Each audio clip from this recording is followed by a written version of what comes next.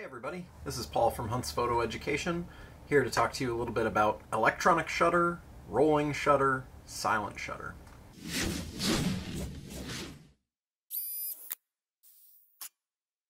So we had some interesting queries on our Facebook group uh, in regards to a specific situation of banding on a mirrorless camera. And I'm just going to say mirrorless camera because it can really pretty much happen on anyone's camera. So I just wanted to share my own personal uh, situation uh, and my experiences um, with using electronic shutter and silent shutter because I think silent shutter is really cool. On mirrorless camera, silent shutter allows you to fire essentially completely quiet, uh, but there are uh, some drawbacks. Um, the first time I experienced issues with silent shutter, uh, I was inside and I wanted to be discreet and kind of test out that concept of silent shutter. Um, immediately after I was in that situation, I actually went and photographed a road race where my shutter speed was about one one thousandth of a second and above. And I noticed that while shooting, uh, the images were kind of going nuts. Uh, and here are a couple examples of them. So here I, I'm at the beginning of the road race and I'm inside um, taking pictures. You know, there weren't that many people around, so I just kind of wanted to not be seen effectively. Um, and the pictures were coming out fine, uh, and that's pretty pretty par for the course in this situation. Um, and then when I went outside and I started actually taking photos, uh, I, of course I'm shooting at a high shutter speed. I didn't really notice it at first, but then all of a sudden, certain pictures started looking a little bit awkward, and you'll actually see on the screen here, this is a, a sequence of three photos of the same individual, and look at how his head kind of shifts in terms of how it looks. And so this is one of the issues that you can run into on silent shutter uh, or electronic shutter, where uh, you have some uh, huge amounts of distortion. Um, and uh, so this is because of something called a rolling shutter. Uh, instead of the camera taking a picture all at once is kind of how we imagine it, uh, what it actually does is it takes a picture, uh, it does it kind of line by line, like a pan and scan almost, where it starts from the top and goes down to the bottom uh, very, very quickly. It all happens in an instant of a second. Um, the, the problem is uh, that it does happen.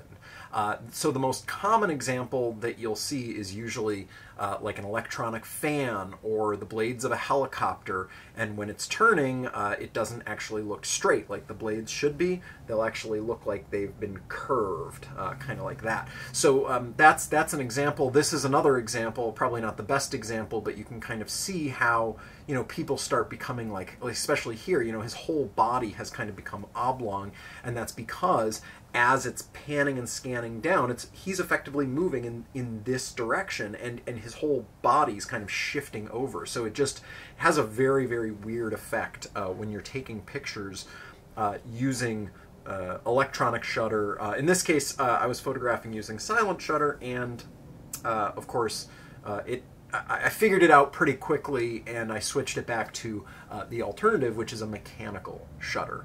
Um, so electronic shutter is uh, just kind of a completely silent shutter that's inside the camera. Again, it does that little scan of the image. A mechanical shutter is actually a the mechanics of the camera taking the picture, actually opening and closing, uh, and the mechanical shutter is actually very advantageous uh, and, and what you'd want to be using for most of these shots, if not all of them. Um, and so that's the basis for uh, electronic shutter and movement. So the other common occurrence when you're using electronic shutter or silent shutter is photographing under fluorescent lighting. Um, some artificial lights, uh, like tungsten lights are, are constant, uh, but others like fluorescent lights are not constant. And if you've ever seen a really slow motion sporting event, uh, like someone shooting a basketball or something like that, uh, you'll actually see those light up signs in the background. They'll actually, they're actually going to flicker. Your uh, sensor, again, being scanned in that electronic way, the fluorescent lighting flickers. And so you have to imagine when you're taking a picture with that flicker, one line gets scanned and the exposure is correct. the next line gets scanned and the exposure isn't correct, and so on and so forth and so on. One's exposed properly, one's exposed darker, one's exposed properly, one's exposed darker. Again, because it's that scanning motion when you're using the electronic shutter or that silent shutter, which is going to alter the exposure from line to line to line. So here are some of the examples uh, of photographing when using that. So uh, this is again from a couple of years ago, but it's a situation that I uh, actually ran into. I went over to a friend's house. They have uh, a somewhat newborn child, and so you can, you know, at the beginning, it's kind of hard to tell that anything's actually happening. I mean, when I look back on this, even now, I look at this background here, and, and I personally, I see these lines as being blinds uh, behind them. But in reality, this is actually a solid colored wall, and those uh, those band that banding is actually happening in the photograph itself, uh, even over the people. So it's actually a, a very negative uh, thing that's happening. Um, and so you know that's something that you kind of have to deal with. That is that is effectively the light flickering again. So, you know, I'm going to kind of zoom in here a little bit so you get a slightly better idea. So there's that first line that gets scanned by your sensor and it's exposed properly because at the time that that was being scanned, okay, the light was at full power. This black line going across or the darker line going across, it's because the light, the flicker from that fluorescent light was not happening. Happening, not happening, happening, not happening as you go through the entirety of the photograph. And you know, again, it's I think it's less prominent on the face of the subject here, but it's still happening. Okay? And that's unfortunately something that you just kind of have to deal with. Um, I was photographing at one two hundredth of a second had I dropped my shutter speed down, or if I'd been shooting with a mechanical shutter, I would not have had that issue. So the other situation that I have found myself in is when I am outside and I'm not using silent shutter, but for some reason on my camera I have had electronic shutter set, um, which is, again, all of these situations I think I've set by accident uh, rather than it being a purposeful reason. Um, so this is the, the last example. I was outside uh, using my flash, using high-speed sync, and taking some photos. And if you know anything about high-speed sync, high-speed sync is effectively a pulse. So it's kind of working in the same way that a fluorescent light is, except it's, you know, a flash, uh, and it's for a very short period of time.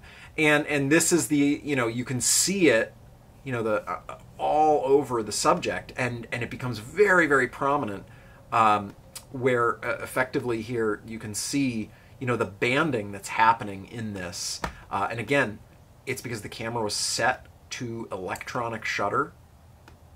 And again uh, in this case it's happening vertically because I have my camera vertical uh, but that same sort of effect is happening. One line it's there. One line it's not. One line it's there. One line it's not. And of course this is very, very intense because I've got my shutter speed at one eight thousandth of a second. And, um, you know, again, electronic shutter, just not able to keep up with it because of how it's scanning the image. I wouldn't have had this issue if I was shooting with a mechanical shutter. Uh, it was totally by accident that the electronic shutter was even activated. This was not in silent shutter because when you're in silent shutter, you actually can't fire a flash. Um, but uh, still had this issue. And even as I dropped my shutter speed a little bit, here I'm at one four thousandth of a second, okay, you still have that banding issue. You know, it's still there, it's just less prominent than at one eight thousandth of a second. Again, because there's a difference in exposure. It's really unfortunate because I really did enjoy a lot of these photos that I was taking, um, and and they're just they're really ultimately unusable to simplify, uh, the idea is the higher the shutter speed is, uh, the more intense this issue is going to uh, become. Ultimately, when you go to lower shutter speeds, this isn't an issue uh, because uh, essentially it just kind of absorbs everything into that uh, exposure. But most of the time, you're probably not going to want to shoot at like a 30th of a second using silent shutter because why are you using silent shutter or electronic shutter to begin with? Uh, probably because you're maybe inside and you don't want to be loud, um, and maybe you're photographing people. Uh, and why would you want to be at a 30th of a second if that is the case? So you also have to remember the only reason that this is happening at all is because you're photographing using silent shutter or electronic shutter.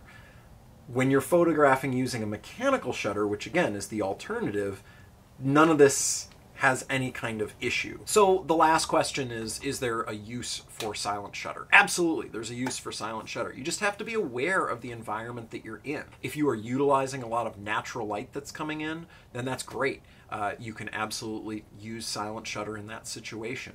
If you're photographing using tungsten light, you can absolutely still do that. Uh, if you're using fluorescence, uh, if you have fluorescence in the environment that you're in, you just have to be aware that that can be something if you're shooting with silent shutter or electronic shutter that, that can have an effect on it. Uh, and as cameras get better and more cameras are coming out, they will become a lot closer uh, to that higher performing level. For right now, it's something that you have to kind of make sure you watch, be careful of. Uh, so again, to reiterate, if you're using electronic shutter, uh, if you're using silent shutter, just be aware that that can happen. You can have that banding issue if shooting in fluorescent lights. Lowering your shutter speed will help mitigate that, but it's a, a trade-off, of course. And don't use silent shutter when you're photographing at very, very high speeds. Hope this has been helpful. If you have any questions, feel free to follow up with me. Classes at huntsphoto.com, or you can comment on the video.